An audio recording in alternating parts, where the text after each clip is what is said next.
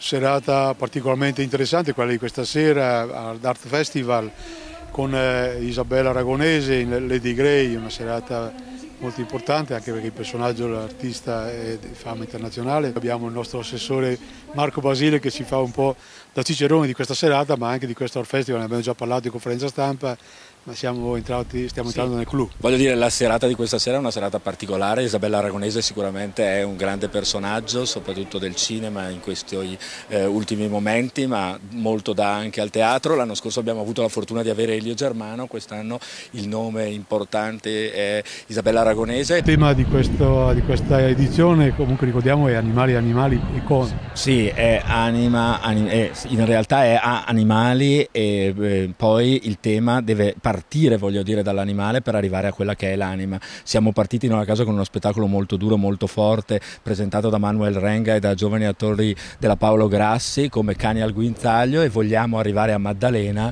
invece in un percorso che ci deve riportare alla ricerca dell'anima dell'uomo più profonda.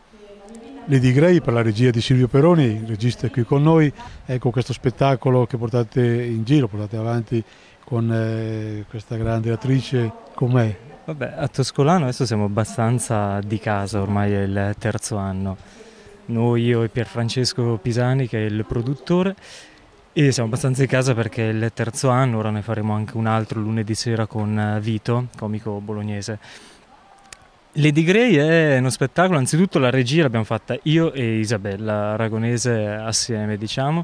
Lei è l'interprete, è un monologo, è un monologo che noi quest'autore l'abbiamo già scoperto, diciamo, in Italia per la prima volta l'anno scorso con Elio Germano, con uh, Tom Payne, basato sul niente, questo si intitola Lady Grey con le luci che si abbassano sempre di più, quindi già i titoli sono abbastanza programmatici di che cosa è poi il la tematica, sia il basato sul niente che il con le luci che si abbassano sempre di più, insomma sono queste due persone disadattate forse, insomma, che si abbandonano forse per l'unica volta della loro vita a parlare col pubblico e a parlare della loro vita con un linguaggio insomma, dell'autore che lui è stato candidato ai premi Pulitzer, ha vinto il Fringe Festival è stato paragonato a Beckett proprio, quindi è insomma, un autore estremamente particolare.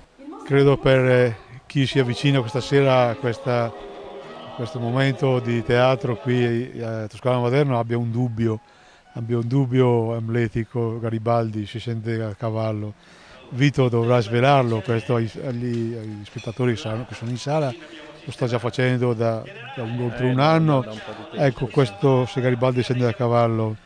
Beh, speriamo non scenda. È meglio che stia lì. È meglio che stia lì, perché se dovesse scendere da cavallo, insomma, vedrebbe un'Italia non esattamente come lui l'avrebbe voluta, una, un'Italia leggermente diversa, un'Italia figlia dei nostri giorni e, e, dei nostri tempi, però è meglio se Garibaldi resta a cavallo perché ci rimarrebbe veramente tanto male. Questa Italia è come la racconti tu o come hai trovato eh, materiale o gli autori? Sì, l'autore che è Maurizio Garuti ha fatto una sto- ricerca storica della vita di Garibaldi, ma una vita che non si trova nei libri di storia. Noi raccontiamo un Garibaldi un po' diverso, raccontiamo le debolezze di questo grande eroe, eh, perché lui ne aveva una di debolezza molto forte, che erano le donne.